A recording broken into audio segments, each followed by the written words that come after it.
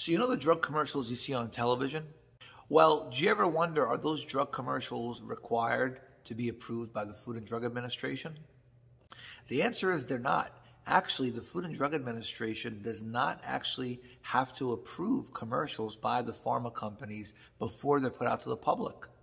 That's right, drug companies can get the commercial out without getting it approved. What that means is that there could be false and misleading information in the commercial.